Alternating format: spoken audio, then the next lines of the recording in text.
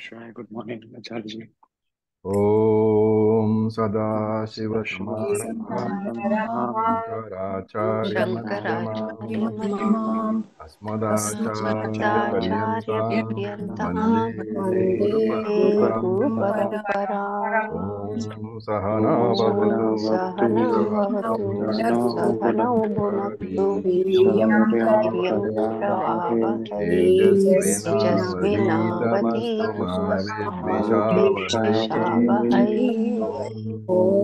शान्तिः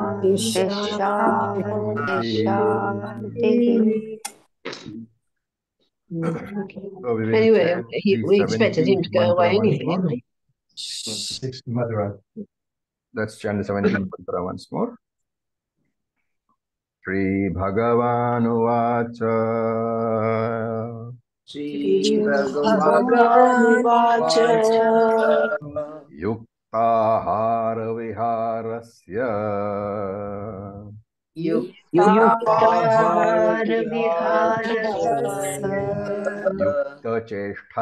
कर्मसु।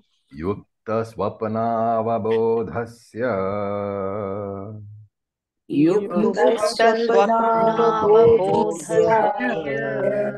योगो भवति दुःखः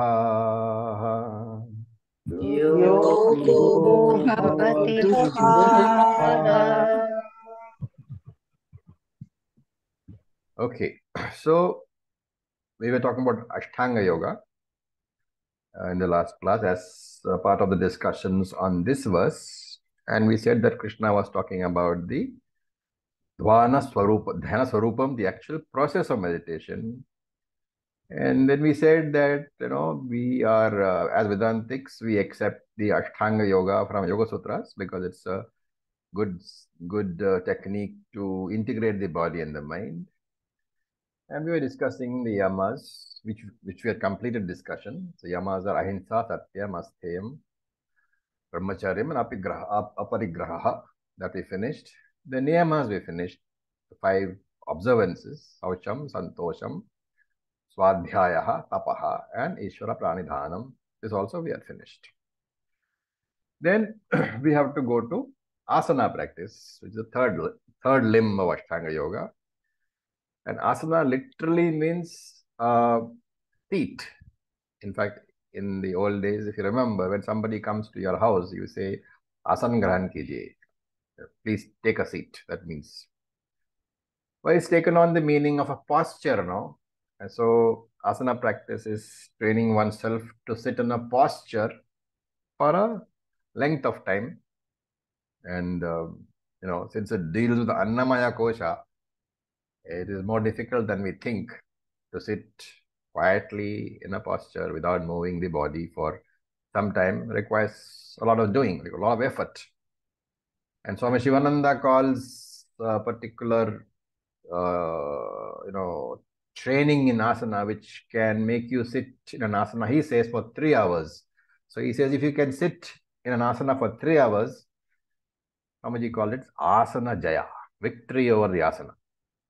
Another name for that is asana siddhi. Victory over asana is asana siddhi. And Swamiji says, of course, three hours, which is, you know, uh, quite a bit. So we can start with smaller times. We should aim for about 30 minutes at least in each sitting. So if you do two sittings a day, that is 60 minutes, one hour a day, asana, asana training is there. And remember that in the Ashtanga Yoga, the Patanjali's asana is basically only meditative asanas. He would be looking at asanas where you are sitting down for meditation. So there are a lot of interpreters who say asana practice is an integral part of Ashtanga Yoga, which is not. We are not saying Ashtanga asana practice is not good. You can have physical asanas coming from Hatha Yoga, all the asanas of Hatha Yoga, but that is not included in the asana of the Ashtanga Yoga. That asana which Patanjali talked about, purely because of context, you have to take it as which is meant for meditation only. What is the context? Context, pranam, pranayam, dharan, dhya, pratyahara, dharan, dhyan, samadhi. That is the context. And therefore, asana has to be taken as a sitting posture for meditation. So that's one part of it. The next one is pranayama. So pranayama deals with the pranayama kosha, and it is generally the regulation of breathing, how to breathe properly. If you remember, there is a very beautiful verse, Vayurodhanat liyate manaha jala pakshavat rodha sadhanam. What does it mean and where does it occur? Any ideas? Vayurodhanat liyate manaha jala pakshavat rodha sadhanam. Upadeshasaram? Upadesha Saram. Ramana Maharishi. What does it mean?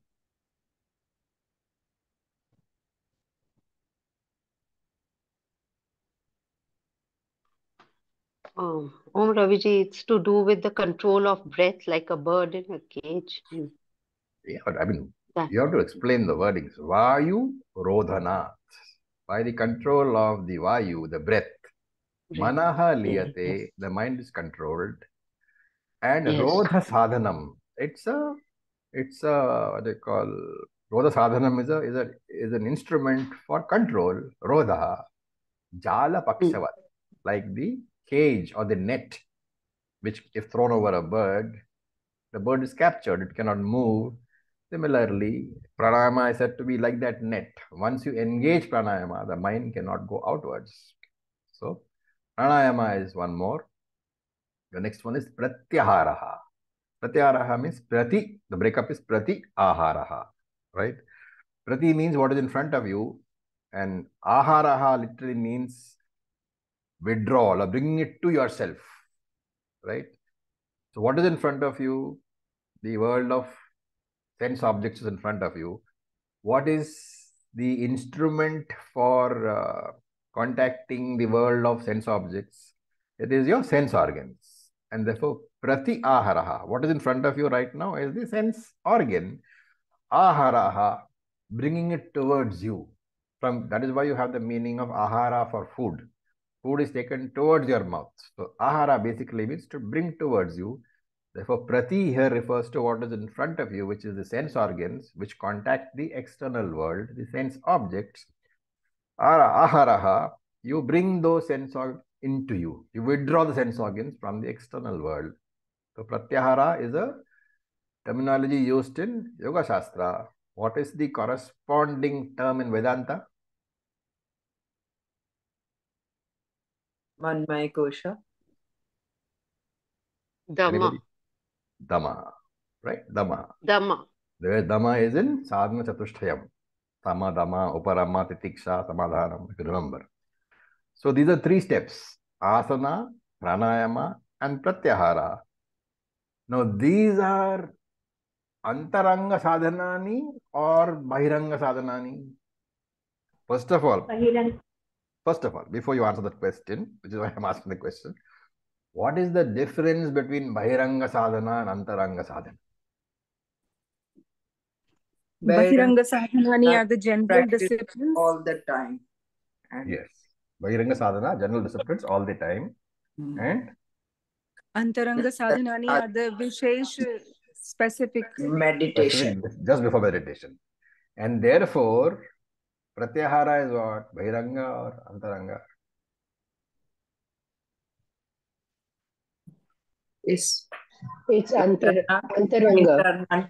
Internal. antaranga. Remember, because antaranga, antaranga literally means those sadhanas which you are doing when you are sitting for meditation.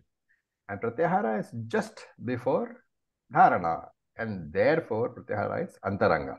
You have to be extremely clear about what is antaranga and what is bahiranga. What are the bahiranga sadhananis in the Ashtanga Yoga? That's the Yama and Yama. Niyama. Yama, Niyama. asana, pran. Asana is antaranga, bahiranga. Bahiranga. Bhairanga. Why bahiranga? Do you do it all the time? No, no, no. Antara. Antaranga. Before answering any question, we should be sure what it means. Asana is sitting down in a meditative posture. And when do you sit down? Just before you sit for meditation. And then you do pratyahara, pranayama and pratyahara. Therefore, asana, pranayama and pratyahara, these three steps are antaranga. What is the bahiranga part so far? Yama is niyama. Yama, niyama, or bahiranga. Right? So you should see the difference. Yama, niyama are sadhanani, disciplines which you are observing throughout the day, throughout the year, 24 by 7 by 365, excepting when you're sleeping, of course. Whereas asana, pranayama, and pratyahara are disciplines which you pick up when you come for meditation. So you sit down, then you do pranayama, then you do pratyahara, and from pratyahara you move into dharana. Therefore, asana, pranayama, pratyahara are antaranga sadhana. If this difference should be very clear. Then, the last these five are over, right? There are two bahiranga sadhanani, yama niyama, three antaranga sadhanani, asana, pranayama, and pratyahara. Then the last three stages are about dharana, dhyanam, and samadhi. Right? So these three put together is called, uh, is given a special name by Patanjali. What is it called?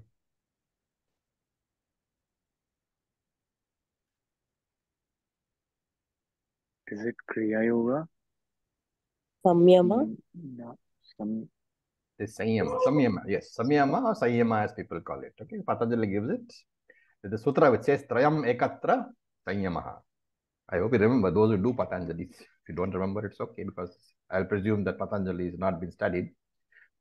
But these three put together is called Samyama. And that is why, you know, in some textbooks, you will find that the sixth chapter is also called what? Atma Sanyama Yoga. Normally, at least in the, in the textbook I am using, it is called Dhyana Yoga. But in some uh, some commentators also say Atma Sanyama Yoga. So this Dharana, Dhyana and Samadhi put together Sanyama. This Dharana, Dhyana, Samadhi essentially is the Dhyana Sarupam, the nature of meditation. That is the actual meditation. Okay. So, so far, you out of the eight steps, you have to take the first two as Bahiranga, Yama Niyama, the next three as Antaranga, Pranayama, Pratyahara, Asana, Pranayama, Pratyahara. And then come the meditation, which is the last three, Dharana, Dhyana, Samadhi. So, let's look at Dharana. Dharana literally means, Dharana literally means to focus, to fix or to hold, right? Like you are taking a photograph you take a camera, you adjust the lens to make sure that the person is within the focus of the lens. That focusing, that focusing on a particular know, object, that is called dharana. So the question can be, what should I focus on?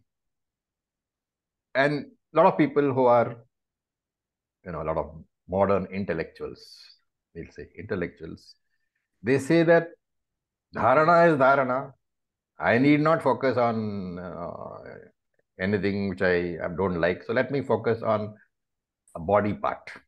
I'll focus on my hand, or I'll focus on my toe, or I'll focus on my neck, or on my heart, or I'll focus on numbers. I've also had somebody in a TTC who said that focusing on a number, take the number nine, very mysterious number. I'll focus on that. It is as good as focusing on anything else.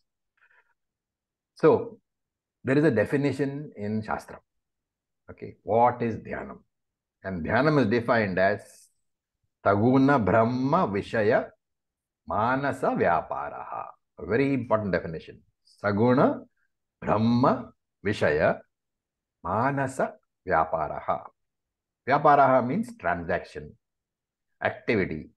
Manasa Vyapara means mental activity. What is another name for mental activity? Thought. thought, vritti. Okay, vritti, thoughts. Vishaya, this mental activity should be on the vishaya, on the subject of what? Saguna Brahman. Saguna Brahman means Lord Brahmaji, also called Hiranya Garbha. And therefore, of course, Saguna Brahman can be taken as any form of the Lord with a form. Saguna is form. Normally, Saguna Brahma, when we say, we mean Hiranyagarbha. But remember, Hiranyagarbha doesn't have a form. And therefore, you can actually look at Lord Krishna, Lord Shiva, or the Shivalingam, any form which you have, the deity which you have in front of you, anything is fine. Saguna Brahma is the form of the Lord which you worship. And therefore, Dhyanam is Saguna Brahma Vishaya Manasa Vyapara. Your mental activity has necessarily to include Ishvara in some form or the other. What will happen if you drop the word Saguna Brahman from and say Vishaya Man, any Vishaya, Sarva Vishaya Manasa Vyapara, any Vishaya is Manasa Vyapara is, is meditation. What is the problem with that statement? Any mental activity is meditation. What is the problem with that statement? No, it could be just, you know, not focusing, just moving, all the thoughts moving. So you're not really focusing. So that will not be meditation. So any mental activity means merit is worry also is meditation. Getting angry is also mental activity. That is also meditation. Shouting at somebody is a verbal activity. Before that, this mental activity. That is also meditation. And therefore, you cannot say any Vishaya Manasaha Vyaparaha. You have to say Saguna Brahma Vishaya Manasa Vyaparaha. That transaction, that activity of the mind has to be associated on the subject of Saguna Brahman. That's the meaning of the statement. And that is the definition of dhyana. A mental activity associated with Ishvara. What is the, you know, the main reason why I'm presenting this? While we are discussing Patanjali Yoga Sutra, what is the reason?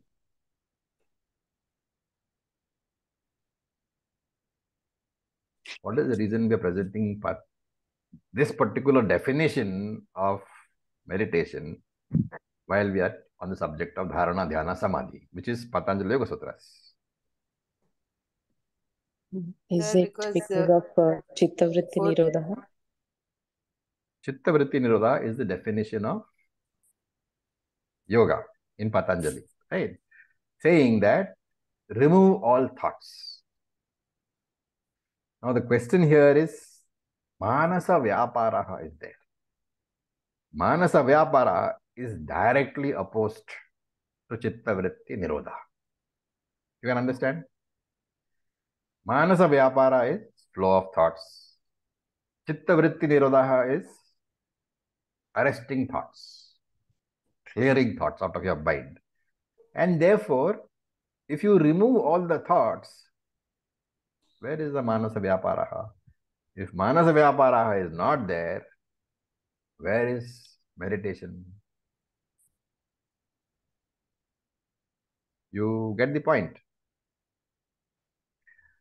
The definition of meditation coming out of Vedanta is diametrically opposed to the definition of meditation coming out of Patanjali Yoga Sutras. This we must be very clearly aware. In Vedantic meditation, no removal of thought is recommended. You have to very control. clearly have you have to very clearly have a thought which is focused on Saguna Brahman. Thought must be there. Focused on Saguna Brahman. Right? Remember that in your day-to-day activity, mental activity is there in every field. Right? Similarly, mental activity is there in meditation also. The only difference is that during the normal day, your mental activity covers all sort of objects. During meditation, your mental activity is purely on the subject of Saguna Brahman in the spiritual field. That is the, uh, you know, meaning of dharana. Focusing on a thought, entertaining a thought regarding Saguna Brahman, regarding some sort of, some version of Ishvara. It can be Ekarupa Ishvara, it can be Virat Ishvara, Anekarupa Ishvara, but Ishvara has to be there. So it's only Sagun Nir. What about Nirgun? That we'll come to later. Okay. Now, after dharana, there is what? Dhyana. So, what is the difference between dharana and dhyanam? In dharana, you are focusing your mind on Saguna Brahman, Saguna Brahma Vishaya. What is the normal feature of the mind? It runs around all over the place. And anybody who has sat in meditation should know that the main activity, at least in the first few maybe years of meditation, is what? Just bring it back. Just bring it back. And therefore, there is an effort. So in dharana, there is an effort because every time your mind wanders, you have to bring that thought, you bring bring that mind back to your Saguna Brahma Vishaya. And this could be a mantra, could be a you know eka, eka, erup, ekarupa Ishvara image, whatever you are entertaining. Whenever your mind wanders, you have to bring it back. Now, with constant practice, so we are not saying one day, 10 days, 20 days, 30 days. We are saying constant practice, everyday practice, maybe twice a day practice, maybe thrice a day practice. Slowly you will find that the mind begins to stay on the object of focus. On the Saguna Brahma Vishaya, the mind begins to stay without an effort. And therefore, retaining the thought on the focused object without the effort, where the mind stays on the Saguna Vishaya Brahman and does not wander. Since it does not wander, there is no more effort of bringing it back. That is dhyana. But meditation with effort is dharana. Meditation without effort is dhyanam. The, both the terms are very, very close. Dharana is focusing with effort. Dhyana is retaining the object of focus, but the effort has a little bit difference is there. One is hmm. that in dharana, what happens is the mind wanders, you bring it back. The mind wanders, you bring it back.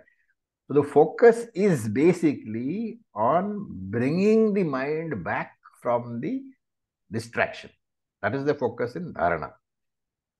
In dhyanam, also there is some effort. But the effort in dhyanam is to retain the object of focus in your mind. It's a very, very subtle distinction. Okay.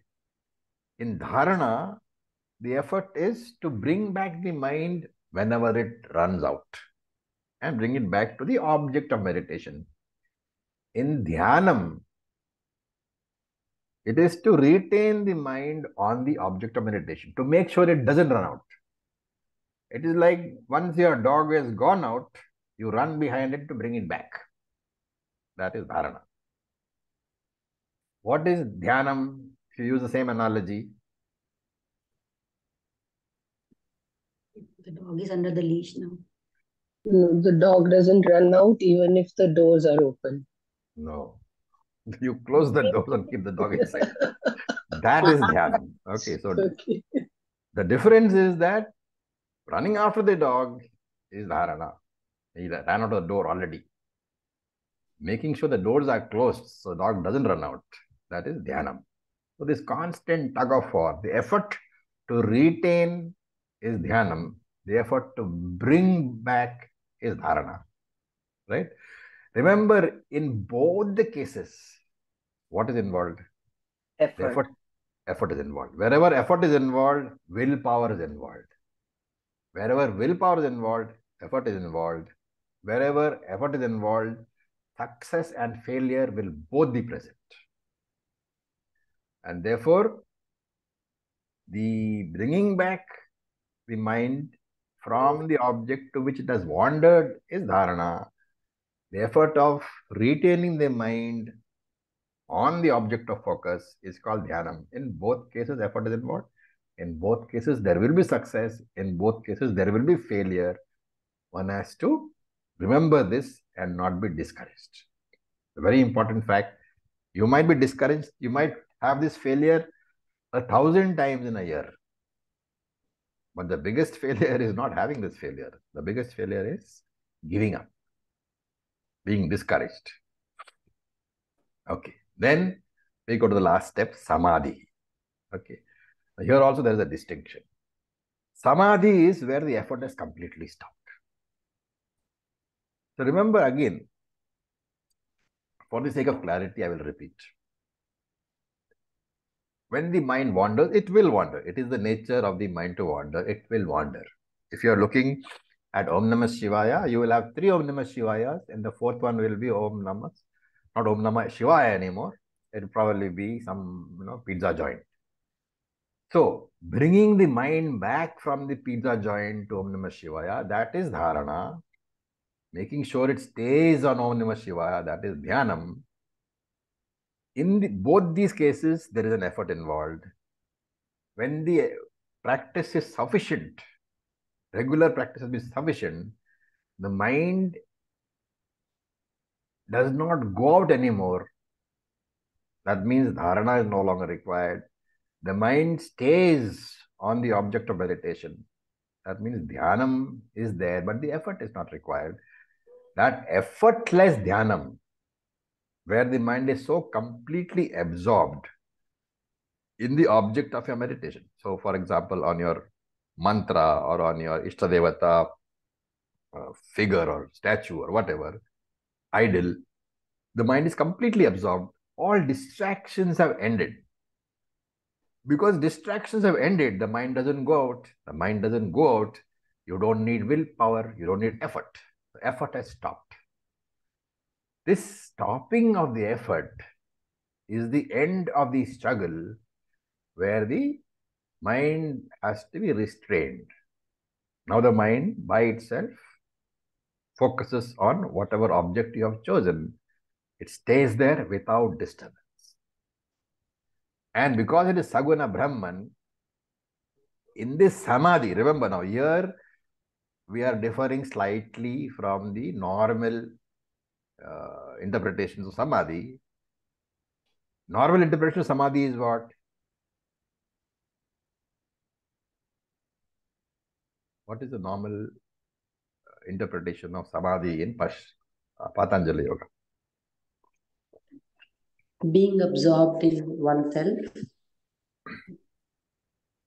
Uh, more technical definition. Uh, established in Brahman or Atman. Hmm. Anybody? The difference between meditation, meditator, and the object of meditation dissolves. In Sanskrit? Triputi is no longer broken. Triputi is broken, right? Now, I hope you know what Triputi is. Triputi means there are three things. What are the three things? The meditator, the process of meditation, and the object of meditation.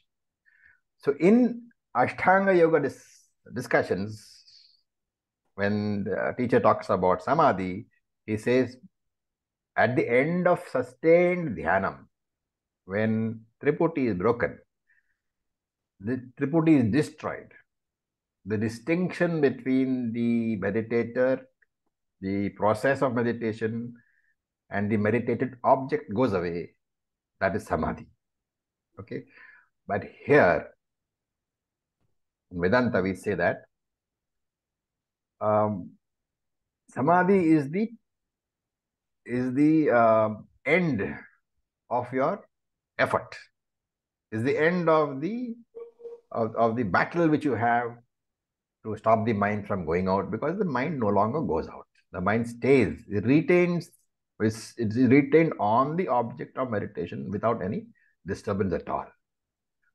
But we say during this samadhi status also, the triputi exists. Why? Because you are aware of yourself as the meditator.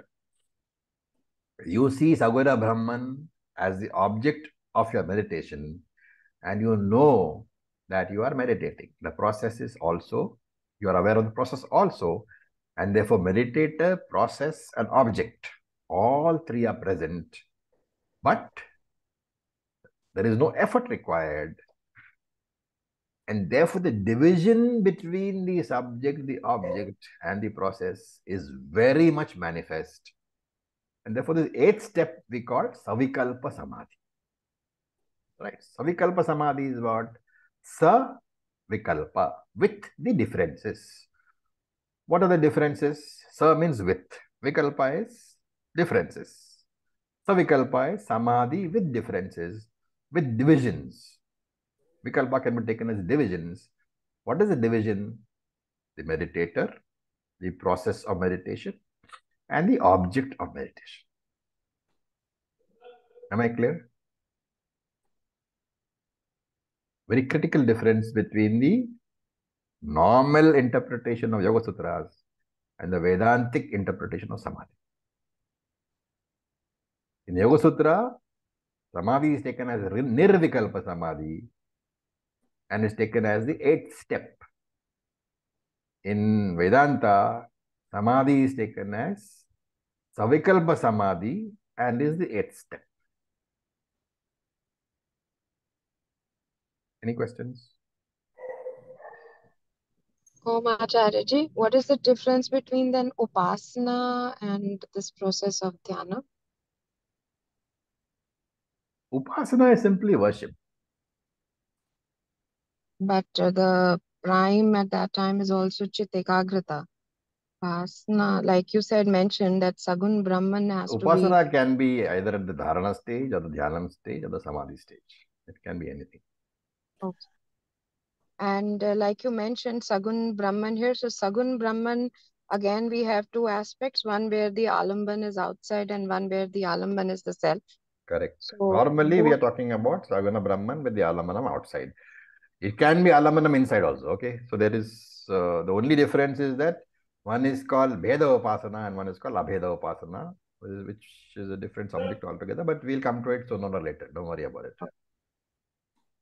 Bheda Upasana is where you are invoking the Lord on Alambanam outside you.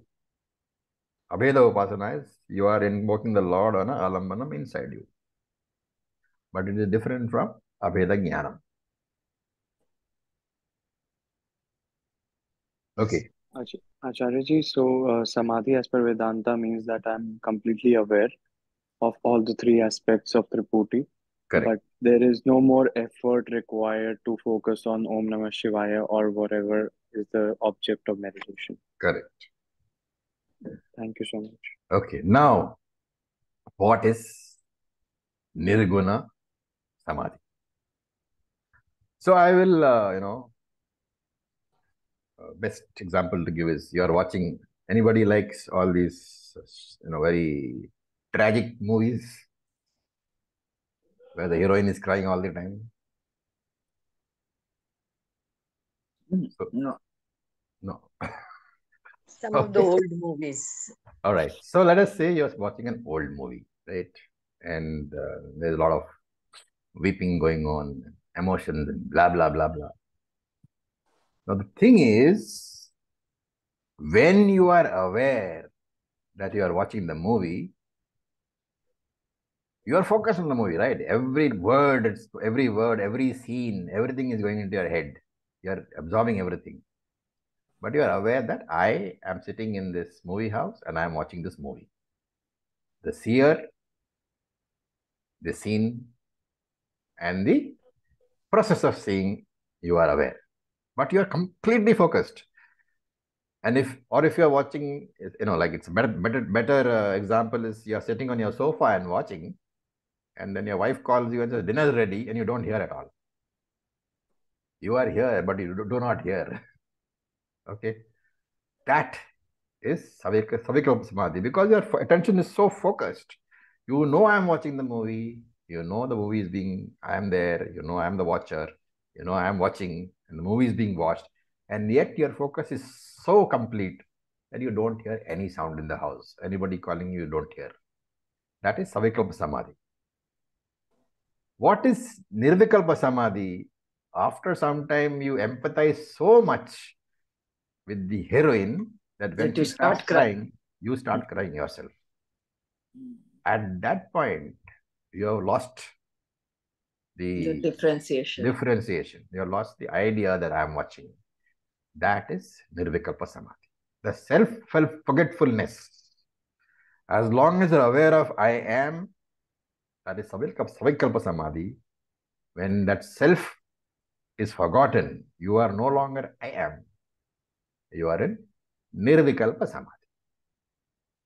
And for us, Nirvikalpa Samadhi is not the eighth step, it is the destination. There are eight steps, which lead to Nirvikalpa Samadhi. Nirvikalpa Samadhi is the top of the stair, so we don't call it a step. We just say it is a destination. Okay, remember, in fact, there is a book, a textbook called Panchadashi by one very famous Acharya called Vidyaranya. So he says, he talks about Nirvikalpa Samadhi, and Vidyaranyaji says that even in Nirvikalpa Samadhi, you can never say that thoughts are not there. But because of the total absorption which you have in the object of your meditation, the thoughts which are present are not manifest. Do you see the difference? There are thoughts present all the time. Whenever the thought is manifest, you are aware of the thoughts. And therefore, up to Savikalpa Samadhi, thoughts are there in your mind, and they are manifest. In Nirvikalpa Samadhi, your focus is so complete that the thoughts acquire subtle status. Subtle in the sense, sukshma status, because they are no longer manifest to you. You're no longer conscious of them. It doesn't mean thoughts are not there. But your focus is so complete that you are no longer conscious of those thoughts. And that is what is called Nirvikalpa Samadhi. We do not call it the ninth step. We do not call it a step at all because it is a destination. I hope it's clear. The difference between Savikalpa, Nirvikalpa is very, very important for us. So Nirvikalpa is Nirgun. Let's not confuse. Right now I'm talking about Nirvikalpa Samadhi. Okay. Kumacharji? Yeah.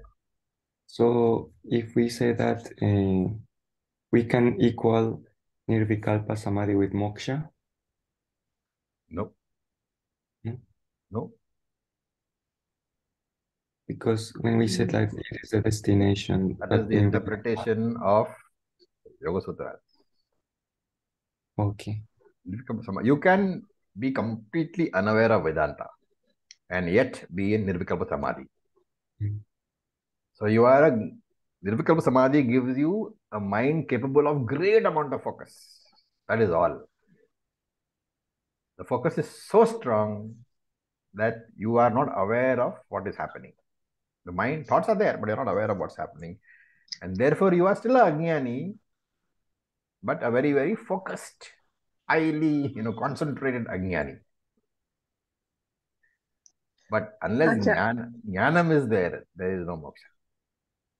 So as a Vedantic students, when we uh, when we we just practice Nirvikalpa Samadhi for when you are practicing Aham Brahmasmi, when you are meditating on Aham Brahmasmi, that thought is there in the mind.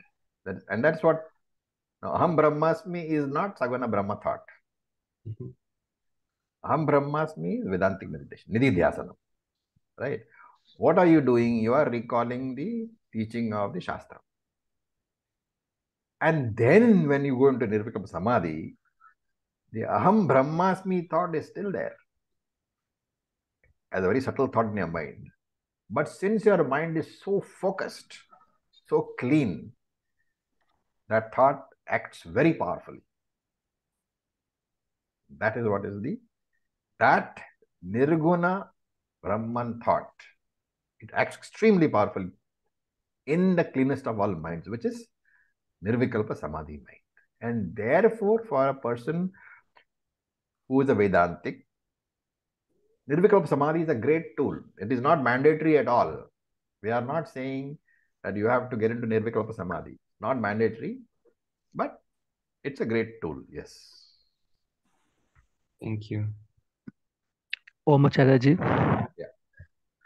Uh, Acharya can you please help to understand more on... Uh, one second, one second, one second, one second. Yeah.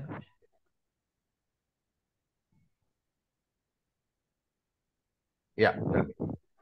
Uh, Acharya ji, my question was that can you please help to uh, elaborate a bit more on Sagunishwara because this is the starting point, and if uh, someone falter here, then uh, this might lead somewhere else. So exactly Sagun Ishvara means what? Should we focus on uh Nayana, all parts, starting from legs, You can do toes? anything. You know, it can be the Dhyana slokas also. Dhyana sloka, when you do, normally the Dhyana sloka will give you the description, right? Mhm. Uh, the hands are there, hands are containing these things, all those lokas are there. Mhm. All right. That is one way of doing. The other way of doing is take any mantra, Om Namah Shivaya, Om Namo Narayana, Gayatri mantra you take. Take any parayanam, any any of the verses from say 11th chapter you take, complete description of Vishwa, Vishwarupa Ishwara is there. There Mhm. are so many. Anything where Ishwara with a form is involved is Saguna Ishwara. And you can focus on that. If you don't if you don't have a full chapter available to you in memory, you can simply take one line from anywhere and focus on that. There are so many, so many, you know, ways in our life in which we can do it. Okay. Acharya ji, when we talk about mantra, it has to be initiated by Guru or it can we can choose any mantra and just start. Ideally, it is said that when the guru gives you the mantra, it has more effect. And that's what tradition also says. So I would say, really, you must do that. Mhm. In fact, in today's world, uh, in the old days, like the, the guru gave you the mantra and you had no choice about it. That's because you were basically a child when you went to the Gurukul. You had nothing had been developed. But right now, you know, like when you go to an ashram and all that, you have already uh, fixed Ishtadevata.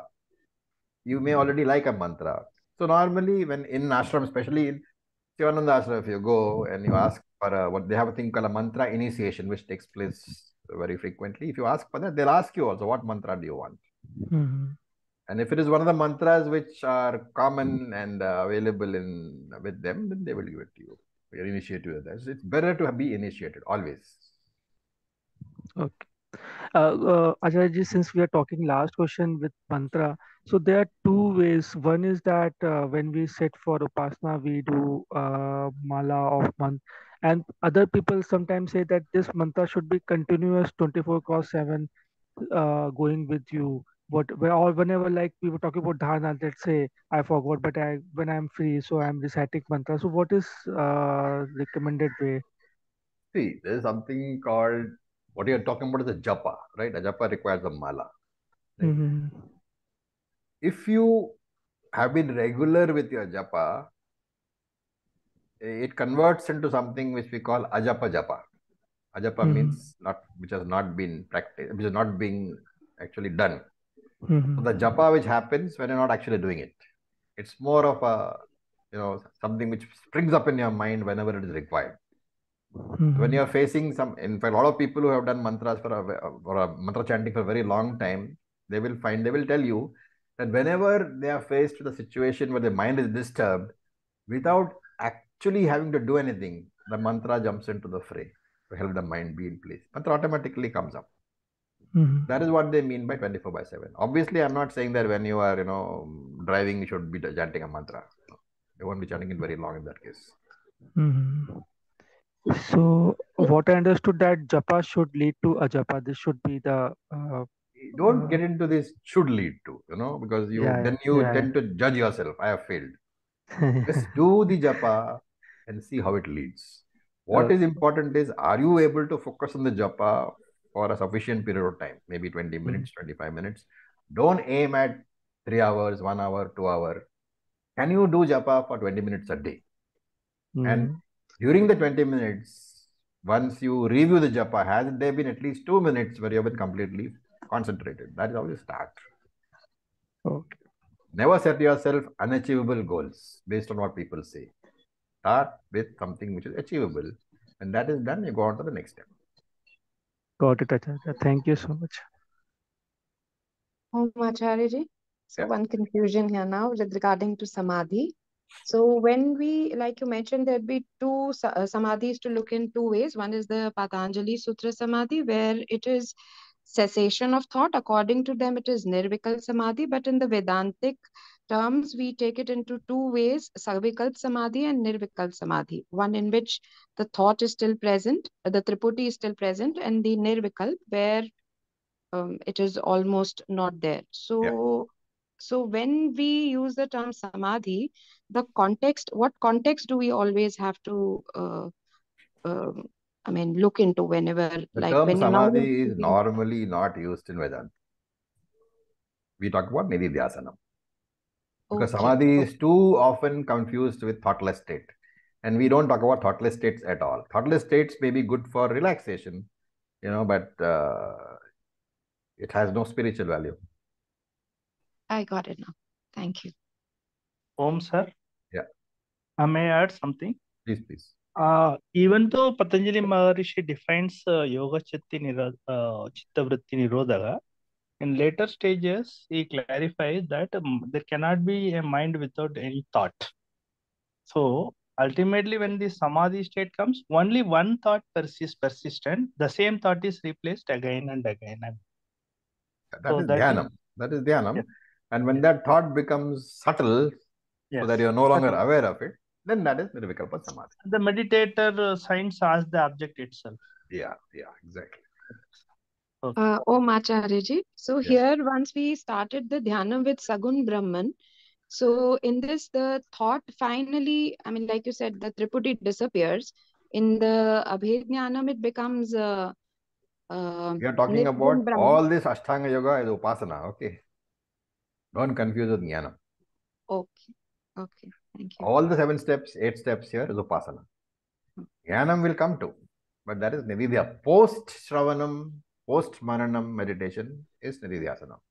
So far, we have talked only about Saguna Bhed. Saguna Upasana, the moment you say Saguna, it is Upasana. Upasana.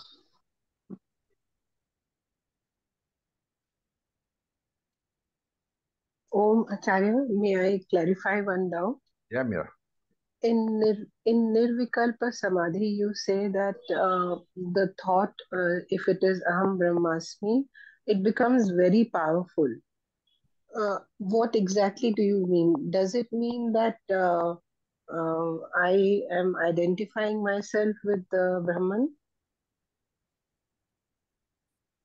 Now, I think, uh, you know, I'll, I'll ask you, I'll tell you why that question is not proper. Can anybody answer that question? Answer that, why that question cannot be answered?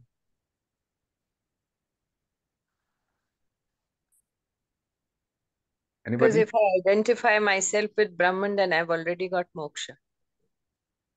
Exactly. That is what I want to clarify. No, I'm looking for another answer. Mm-hmm. Because if I say I identify with Brahman, there is an I and there is a Brahman. Exactly. There is duality no, already there present. There is duality. No, so here I, am using I. Um, in Brahman, in there is no I. So then uh, I am Brahman. Is that what? Uh, that statement itself is wrong. So then, how do I put the question? I'm not able to put it.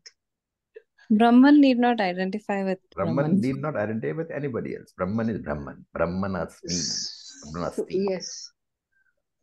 So that happens in Nirvikalpa Samadhi. Nope, it doesn't. No, no. It happens okay. post Jnanam. Yes. If, if after your Jnanam you get into Nirvikalpa Samadhi, it will happen yes. there. If you don't get into Nirvikalpa Samadhi, it will still happen there. Nirvikalpa Samadhi is absolutely, uh, you know, a completely optional thing for a Vedantic meditator.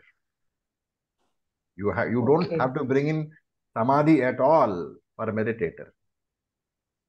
It is yes. a good tool, yes, because it focuses your mind, but it is not necessary at all. Nididhyasanam is what we are looking for. The constant okay idea that I am Brahman. Yes. Very saying I am Brahman is wrong, but that, mm-hmm. that is the only way to communicate. Yeah. And samadhi is temporary. We come out of Samadhi it. is temporary. If you are Brahman during samadhi, what happens after samadhi? Yes. Yes. So, Acharya ji, may, may I ask one uh, doubt here? Yes, uh, please. Same conversation में uh, so जब हम निधि की बात करते हैं so क्या हमें aham brahmasmi bolna chahiye because i we cannot use then i and brahman are two things hum duality mein chale jate hain so focus का क्या वो है जो ध्यान लगाना चाहिए वो अहम ब्रह्मास्मि में होना चाहिए See, ultimately, I'll say only one thing. If you know you are Brahman, yes sir do you really need any sadhana? No but वहीं तो जाना है so कुछ तो साधना So करनी you see, you have to keep running until you know that you know that running was not required. Thank you That's, that's the I answer to the question. You have to keep on doing a sadhana until the day you know that the sadhana was waste of time. But it cannot be a waste of time until you know it. Sir and कई बार sir ऐसा होता है, जब हम ये practicality की बात करते हैं इसमें आचार्य जी तो हम कई बार चीज़ों से बहुत ज़्यादा विचलित हो जाते हैं, बहुत ज़्यादा परेशान हो जाते हैं। बट इधर मैंने महसूस किया है कि अल्टीमेटली अगर मैं अपने आप को मतलब मैं ज्योति अभी अपने आप को इस तरीके से सोचती हूँ कि मैं ब्रह्मन ही हूँ तो शायद वो चीज़ उसकी जो वेदना होती है उसका जो दर्द होता है वो थोड़ा कम हो जाता है तो क्या मेरा ऐसा सोचना या ऐसा महसूस करना is it okay As long as you have these questions, you have a long way to Mhm. go. Okay I think the, the the best way to assess this is a very difficult you know question to either ask or to answer because there are so many there's a duality involved everywhere, right? Yes sir yes The yes. only way you can uh, know is when silence falls. when you are got no more, when you have no more questions, then you will I know think- that there was never really a question to ask. Mm-hmm. It's very difficult to explain. But I think without asking the question, we cannot You can ask even. questions on actual doubts. You know, you cannot ask questions on when will I become Brahman because that's a useless question. You already are Brahman. Yeah. When will I know Brahman? That question I cannot answer. Mm-hmm. So The Nidhi question of am I is, am I have I got moksha or not? It's a mhm. question nobody can answer. In fact, at some point of time, is that the question, only way to reach Nidhi- at to up to Nidhi that. Dhyasanam uh, should not be, you know, construed as anything other than always remembering Aham Brahmasmi. Yeah. The Mhm. constant Oh. remembrance that I am Brahman, that is the only way which you can talk about. Mm. That's Thank you, why sir. I keep on saying the best example is the lime in the pickle. Yeah. You have to keep soaking, keep soaking, keep soaking till questions disappear. Thank you, sir. It's not a very satisfactory answer, I know, but I anybody but has a I- better I- answer. I think if I'm going to absorb in that example, probably I'll get where what I was looking for. So it, it it's clear in my mind now. Probably. Let's first see what Meda has to say. Meda, you've got something to say? as you said, Raviji, it's very tough to um, explain. And I, I think the biggest trap seekers fall into is this by saying, I am Brahman, I am Brahman. Yeah. We, first of all, it's just words for a lot of people. They don't know or cannot uh, ex- uh, understand what is Brahman. Second, the wo- bigger problem is we imagine Brahman to be something. Some Yeah. visualization happens. Correct. And that is a big trap to That fall is the biggest trap. The moment you imagine Brahman as something, that's a huge trap. So the problem with meditating on I am Brahman is this. And like you said, at the final, when you finally realize that Brahman is just me, uh, that there is no words to describe that. There is no There are no words to describe. That is why Dakshinamurti silence. is as a final teacher, you know, the one who doesn't talk. yeah. Okay, so we got six minutes more. I would like somebody to answer the question we asked. What are the three states of reality? Who wants to go first? It's the Vyavaharik, Paramarthik, Satya. Shall I say? One person. Uh, Induji, you go ahead. Parmarthik Satya, it is absolute reality. Vyavaharik Satya, which is transactional reality. And the Pratibhasik Satya, which is the subjective order of something that only you know. Okay, what is the examples that you will give? That Aham Brahma is Parmarthik Satya. Okay. Vyavaharik Satya is that uh, what what comes to you like Brahmaji, just put to you through Vedas, or you read or you hear through some pramana. Uh, what are you? I, think uh, Vyavaharik. Why you bring? Why do you bring Lord Brahmaji into it? You are very much Vyavaharik Satya. The pratibhasik satya is only when like something that only you you think it's a reality which is like you see in a dream or something Okay. or mistakes or you, some dar yeah ghabrahat that is only something that you can sense other Fair enough. Anybody else? Om sir, Pratibhasika also, the rope and snake, the mirage, the shell mistaken for silver, all that would be. Mirage uh, is yeah very subjective. Correct. Okay. Yeah, we can use those examples. Yes. Lalita ji, what about you? tell something is not okay. Uh, Pratibhasik is, you know, uh, so I'll start with, uh, yeah, uh, Pratibhasik is at the Jiva, at the Jiva level, right? We are Jivas. So No, it is is very sub, okay, the subjective is Pratibhasik. So is whatever, Pratibhasik. we- yeah, whatever we feel, it is at the individual level, the feelings, emotions, is it right? Pratibhasika must be only for you. Yeah, for our else. feelings, our feelings, our perceptions, It's temporary, just like a eh, dream. what is experienced only by an individual, Yeah. that is Pratibhasik. But And Pratibhasika uh, generally has to be a third level of reality, right? What is being experienced by you is the second level, Vyavaharika. okay, In so uh, what should that is, happen uh, is you should project something. Oh, okay, okay, yeah, okay. So then it is what I am saying is Vyavaharika, which is an objective level, what we are experiencing outside. Yeah. If you are in a dream and you have projected a dream tiger and the Huh. dream tiger is chasing you, then that is Pratibhasika. I mean Pratibhasika because you are beyond that. You are the waker So what, actually, but you think that huh. you are the dreamer. so whatever projection happens from us, that is Pratibhasik. Yes. So whatever we are experiencing, then that is uh, Vyavaharik, Whatever you are experiencing objectively in this world, objectively in the world. that's what is the why do we you know talk about these three levels so much? What is the great thing about these three levels of reality? Uh, only, only one is Satyam, the other two are Mithya. Paramatmik is Satyam, uh, Nitya, and the other two are Anitya, Pratibhasik and uh, Why, Vyavaharik. why is is, for example, the dream example a very important thing in Shastra? Pratibhasika is Avatar- extremely avatar. important in Shastra. avatar No, because it's mithya. The world actually finally is pratibhasika. There's only one paramarthika and the rest is all pratibhasika.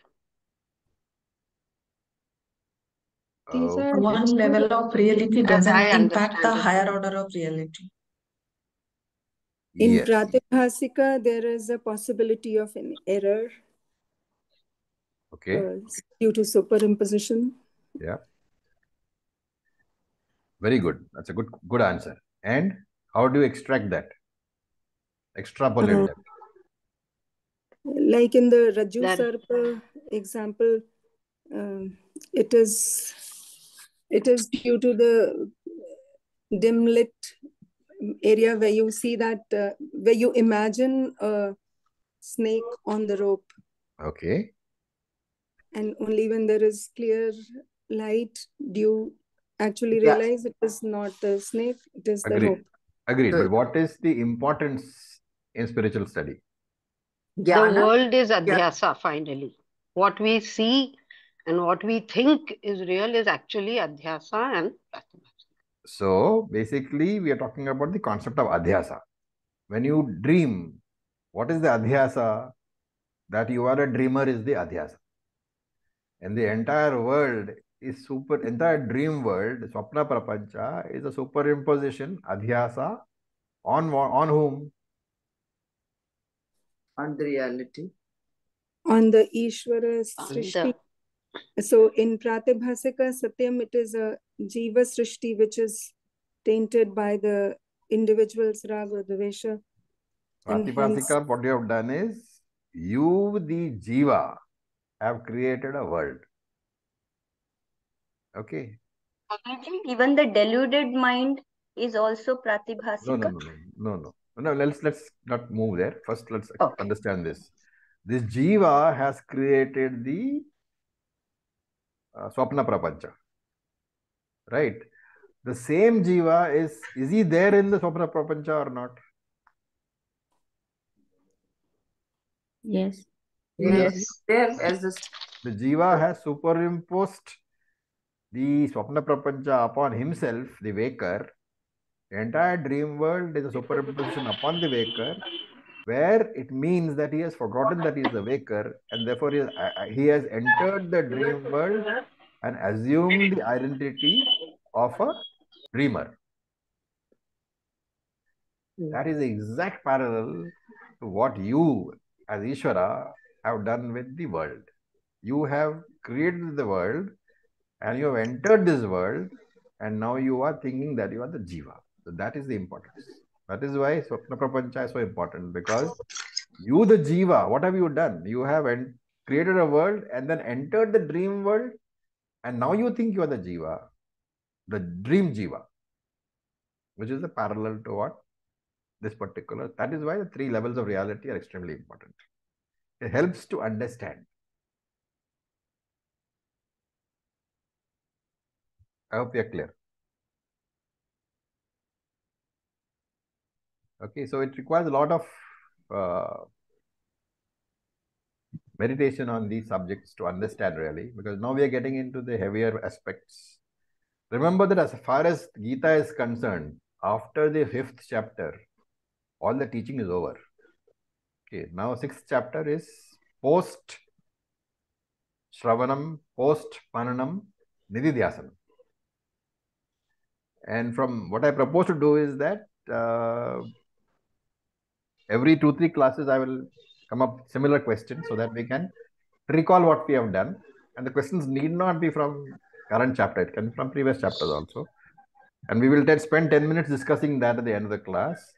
But also, I would like to introduce some Nididhyasanam sessions. So we'll do a bit of the class, finish the question, end up with a Nididhyasanam session, and we need to figure out where we'll start because I have to explain a bit more about what is Nididhyasanam and then we'll start with that. Okay. So that's the plan. Raviji, so one, one, one question. Yes, Piraji. Uh, sir, you said uh, in earlier classes that Avatara birth is Pratibhasik, Satyam, because it is subjective it is uh, like uh, Avatara is born directly from Maya. Yeah. And there is uh, no karma involved there. Correct. So could you please explain it more? Because then uh, I think we also discussed that Avatara is also Paramarthik. Avatara is definitely not Paramarthik. Not Paramarthik. Paramarthik has no, you have no access to Paramarthika at all, excepting as yourself. Okay. Remember that the moment you say paramarthika, you are beyond senses. There are no sense organs involved. So where is the question of knowing? Mm. Okay. And that is why the difficulty of saying I am Brahmasmi. Because Brahmas, I am Brahmasmi has the mind involved. It's a question which is very difficult to answer. And that is why we say just that one particular question you park. And then keep on doing Shravanam, Mananam, Shravanam, Mananam of the Gita, of the Upanishads hopefully somewhere along the line things will click and you'll say, aha, that's how it is. Mm. Okay. Om Acharya ji. Yes, John. Uh, can can you explain again uh, the ajapa japa concept? It's simply the repetition of a japa so many times. Uh-huh. that it becomes subconscious for you. Okay. And therefore, anytime when you need it, it appears without your actual invoking. Thank you. Om Acharya ji, Yes. uh, could I put it in some uh, different way? Like uh, myself, how people look at me and see my face and see my uh, body and they say, this is he. Other is how I look at me, that I feel I am Shiva, I am Brahma. Third is the, my dream world. Is this the three state? No, no. Paramarthika is simply the fact, the under the substratum of everything. You can never really say I am Paramarthika because at that level there is no mind. There is no sense No, I am putting the, the three realities. One is how others look at me No, no, no, and make this thing. No, I am Other is how I internally look at me and I feel I am Shiva, I am Brahma. Third is the dream world. We- They can't be, no. The very definition is wrong. Paramarthika is where nothing exists excepting Brahman. How are you? You cannot, I mean, there's no logic to what you're saying. It is a statement, but it's not based on any Shastra. Okay. Thank you. Uh, Raviji, I have a question, sir.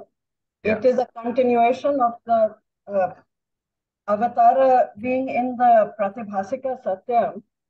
I know I am ready to park it, but just a thought. You had mentioned earlier that this is the Jiva Srishti. The Pratibhasika. No, no, no, I didn't say that. Jiva Srishti is Ishvara Srishti viewed through your Ragadvesha. The whole world you are seeing in front of you, the likes and dislikes that you have, that is Vyavaharika, but Jiva Srishti. You are seeing it through your likes and dislikes. You are not seeing it as the world which Ishvara created. That is Jiva Srishti. Okay, then this is uh, a dream existence. The Pratibhasika Satyam are my projections, uh, my dream world, my adhyasa, Yes. where errors occur. Now, when Avatara comes into this category, how do I reconcile that in my mind then?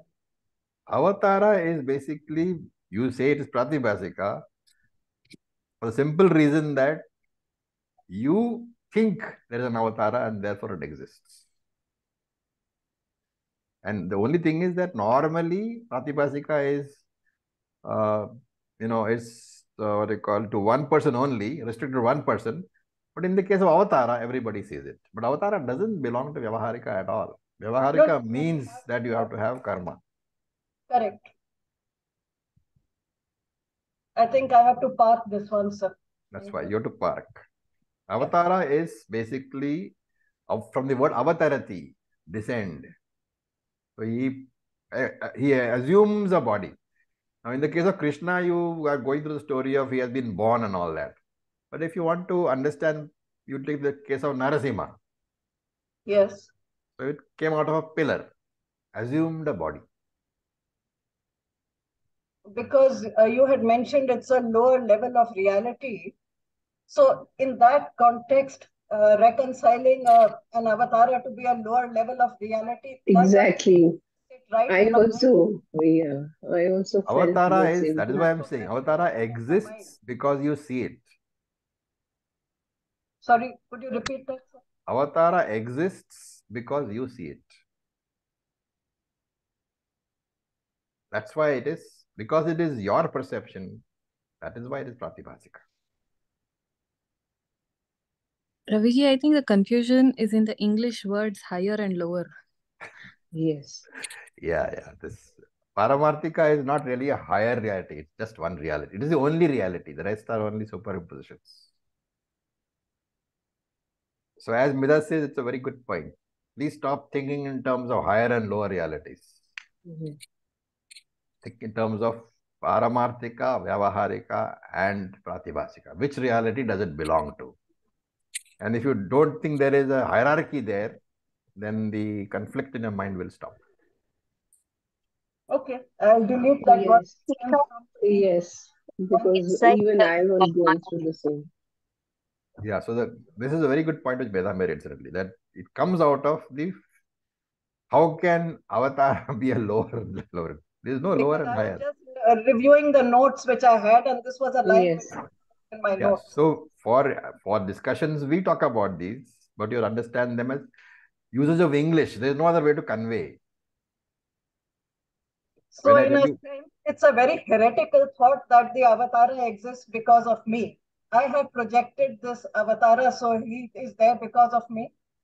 And that is, is what they call relevant across Vyavaharika. Because avatara is not visible only to you. It is visible to everybody. Hmm. So there are things which don't really, you know, uh, impinge upon Jnanakanda. And if you break your head on that, you're, you're going to continue to break your head with that. There are things which can't be explained. You have to take it as Shastram says. Shastram says, so it's there. Okay, thank you so much. Thank you. Any other questions? Thank you.